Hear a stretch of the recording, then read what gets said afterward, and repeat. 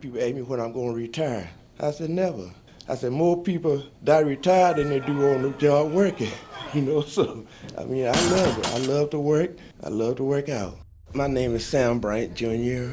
I'm 70 years old, if that means anything. Uh, I've been doing this for 27 years. I started out when I was 44. I was in a bad marriage, and so to relieve my stress, I went to the gym. Didn't know anything about working out, nothing about lifting weight, nothing. But I went there, I stayed and stayed, and so 11 months later, God told me, said, son, to go to a contest compete, you know. I said, you think so? He said, yeah. I said, you look like you're ready. I said, okay. So I went to Columbus, Georgia. It was my first contest, never been on a contest, competed to get it for anything, you know. So I won third in the novice, fourth in the master. And I was just like a crack addict. I was hooked.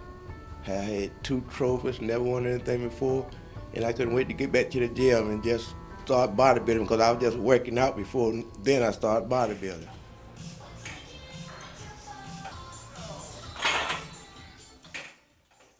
People have the misconception that age make you old, but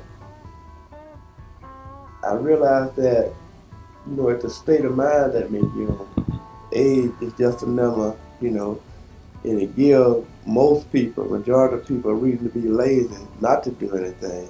You know, so I heard a lot of people telling me about wait till I get their age. And then I tell them how old I am, and then, you know, it's kind of embarrassing, you know, but I tell them that to make a point, you know, that the inactivity, you know, and the thought process is what make them old. You know, because if you think about your subconscious mind with your conscious mind, you know, if you start thinking you're old subconsciously, your conscious mind take a hold of that, then your body gonna feel that it's old, then you're gonna start acting old, feeling old, and you're old. So I, I don't believe it. I feel like I still let go out and dance. I could dance all night, you know. I mean that that just me, you know. I'm really honest, I never felt like I aged since I started bodybuilding in 44.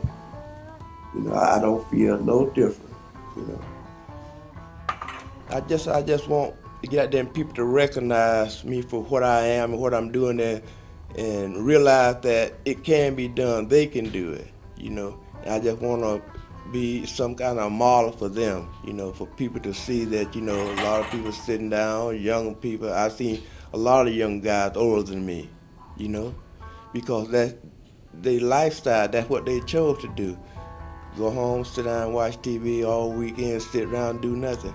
See, I can't do that. I cannot sit in the house that long. I hate it, you know. I got to be busy.